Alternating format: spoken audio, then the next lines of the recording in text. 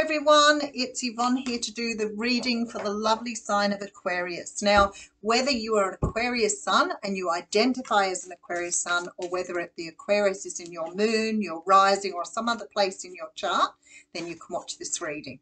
Um, and if you're cross-watching, of course, you can watch it anyway. Um, and I know we all cross-watch, so I don't have any judgment here. Um, if you are interested in watching the daily readings, then please visit my channel at the Aussie Goddess Intuitive Tarot. Um, I do a daily reading based in the energies that are coming through at that time. So um, you are welcome to go over and have a look over there. And if you're interested in listening to podcasts, I've just started a podcast channel and myself and the lovely Susie from Spiritual Podcast um, on YouTube uh, did a, an hour manifestation chat. So if you're interested in manifestation, go over and watch that on uh, Buzzsprout. All right, let's see what's going on. So I'm using the Ethereal Tarot for your reading, which is probably really my very favorite deck, although I always say everything's my favorite. Okay, and we'll see where we're going with it. Nice split spirit. All right, so we're starting off with the Queen of Pentacles.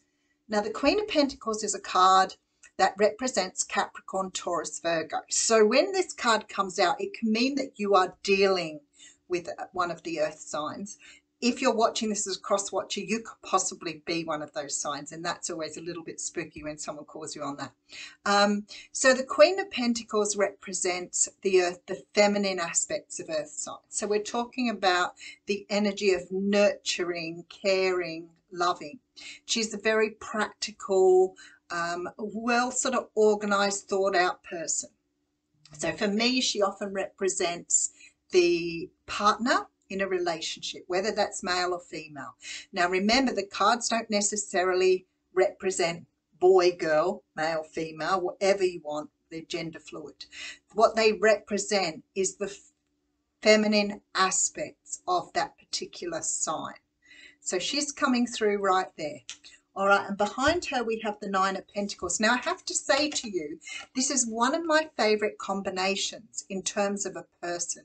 If this is the energy you're going through at the moment, that you're taking on that really earthy, down to earth, straightforward sort of energy, the Nine of Pentacles talks about feeling independent, self-sufficient. So when you've got the two of those cards together, for me, they show a strength of character that is incredibly good. So maybe you're in this place at the moment. It could be that you are coming up as the Nine of Pentacles and your partner's coming up as the Queen of Pentacles, in which case your energy is very, very similar and very, very matched. All right, we have a love cup here.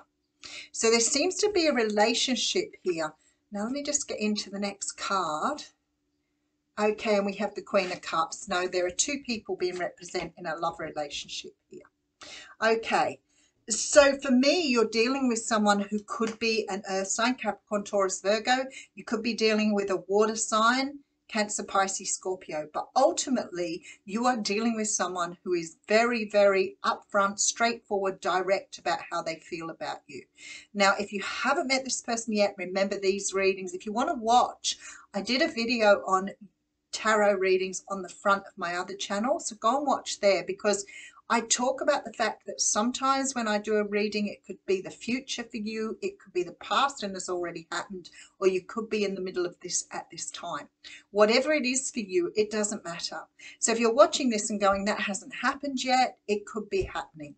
So what I feel like here is you've met someone here who is very open, honest, straightforward about the way they feel about you. You know, that's a really beautiful thing when someone's not scared to really show you how they feel. Whether they have one of those beautiful five love languages, whether it's showing you by doing, saying, gifting, whatever it is, You've got someone here who feels so strongly about you that they are not holding back on the way they treat you. Um, this is really beautiful energy. So if you haven't met this person yet, I feel like they're about to come in. You have the Five of Wands coming through here with the Three of Cups. With the Three of Swords. Okie dokie, I can see exactly what's happening here. Page of Wands. I can't help it. When I see the Three of Cups, I can always, always count on the fact that something is interfering in this relationship. There is something that is coming between two people here that is really difficult. I feel like your person has let you know how they feel about you, but I feel this is why you're in this sort of energy here because maybe you have a decision to make around whether you continue this relationship with this person or whether you move on. I feel like you're dealing with someone who is either still on the tail end of a relationship or about to move out of a relationship. So I feel like they're about to separate or their relationship is on the rocks. I do. And I feel like they are about to make some sort of decision in regards to that. I don't feel they see you coming. I don't see feel that they have seen how they feel about you at this point in time. And I really think that you're going to hear this over the next period. So for me, this isn't somebody who's like messing you around. I do feel this person feels very serious about you. I do feel they want a relationship with you. I don't think they're mucking around when they tell you their own relationship is, is finished and that they are just finishing it up or ready to leave or whatever else. This person could have already like left the relationship but still be dealing with the residue of that. Um, and I almost feel this person is quite torn at this time because they feel so strongly for you, but they're still attending to something here from their past. All right, so we have here the Five of Cups, there it is. Okay, with the Sun card and the Ten of Wands. See, these cards here tell me that this is somebody who's ready to walk away from something. They've, it feels to me like they've already somewhat finished it. And I feel that they're still dealing with it because the past card is coming up here. So they're still dealing with the past situation. But what I feel here is with the sun is there's something about the relationship with you that makes them feel new again. Um, oh golly, I can hear a Madonna in my head. Um, loved for the very first time, like that sort of energy. Um, but I feel like this person is really legitimate about how they feel about you got Leo energy coming through here. We have the lovers, which is Gemini energy. See, choice between two. Okay, and we also have the two of cups. All right, that's quite clear with the eight of swords. Okay. If you haven't met this person yet, this person is coming to you on the back of finishing up something else. But I'm I don't feel that they have completely finalized those uh, part that past situation. And I feel because of that, this person although they're feeling very, very much in love with you and want to move to the next level, may be very reluctant to sort of commit to anything at this point in time. They do recognize the connection here. They absolutely want to be with you. It's like you bring this smile into their day or or something beautiful, fill their day with roses, like it's all romantic, it's just stunning. And I feel like this person now has this choice but it's almost like they're still dealing with the pain of the past here. And it may be a little difficult for them to commit to you at this point in time. That doesn't mean they won't, but I feel like they may be reluctant at the moment until they've sort of cleared the path here. Um, but it's sort of for you, I feel, if this is you, it could flip flop. It could be you doing this. But I feel like for whoever's the shoes on the other foot is feeling a little bit like maybe this person doesn't love you or maybe um, they're only using you or whatever. And I want to say to you, this person loves you intensely. They have every intention of making something from this, but at this point in time, they cannot move forward. All right, let's have a look and see what's going on. So I have the Queen of Pentacles. Should have realized then you were dealing with somebody who might have been in a relationship. Nine of Pentacles, see this is somebody from a relationship going into single energy here. Ace of Cups tells me this person has great love for you here. And I feel like here, what did we have? The Queen of Cups followed by the Empress. So for me, that's that energy of this person wants you to have their children. You want to have this person's children, whatever. It's about birthing something new with someone. So if it's not a physical having children, it's about wanting to bring a relationship into the world. But I feel like you're dealing with someone who may be sort of holding back at the moment. And I'd say to you, they're not doing the wrong thing by you. They are doing the right thing, but they're trying to finish something else off in their life before it becomes too confusing and too overwhelming. It is very much this energy of let's handle one thing at a time and then we'll move on.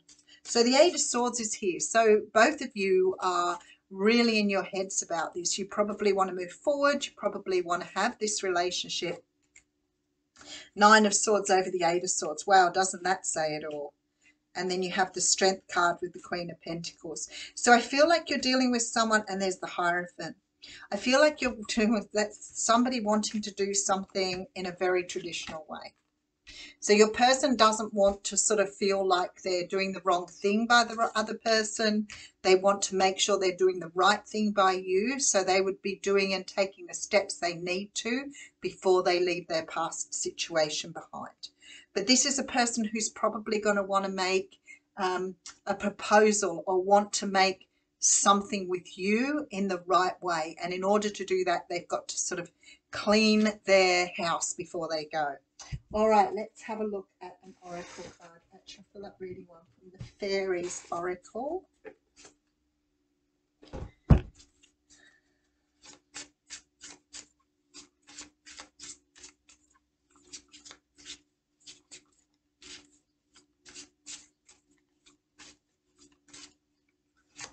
All right, so we have, hmm, I can't quite read that. They are often, often are hard to read.